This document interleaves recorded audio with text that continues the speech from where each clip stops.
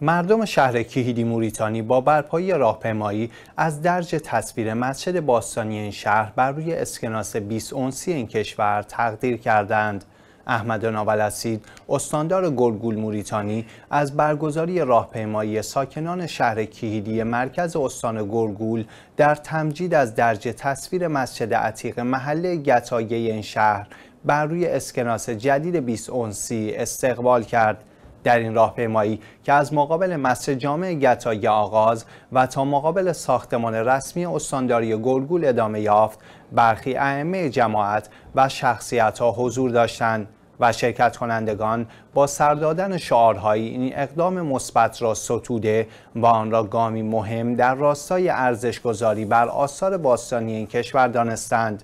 استاندار گلگول در سخنانی این راهپیمایی را منعکس کننده میزان توجه مردم به وطن خود و پیگیری رخدادهای این کشور توصیف کرد و احتمام ورزیدن به آثار تمدن اسلامی را که با درج بر روی پول ملی این کشور موجب جاودانگی معنویان می شود ارج نهاد.